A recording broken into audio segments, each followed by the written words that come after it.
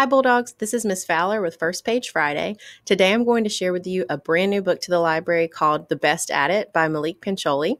It's a Stonewall Honor book, too, so I want to read to you what that means.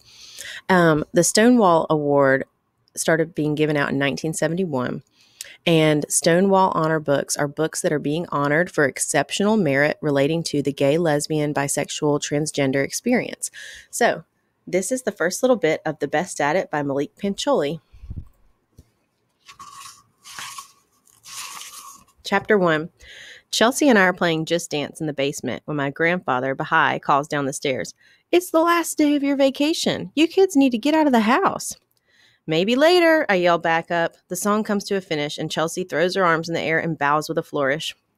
We're just in the middle of something right now.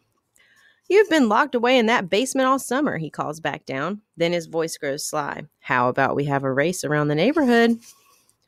Should we go up? Chelsea tugs on her t shirt to air out the sweat. I love hanging out with my grandfather. I really do.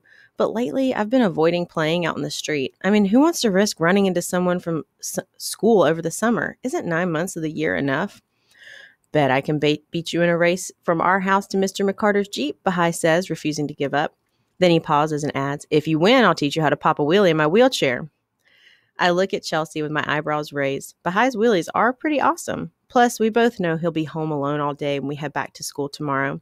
It'd be nice to spend some time with him. She shrugs as if to say, Why not? Fine, you're on. We clamber up the stairs.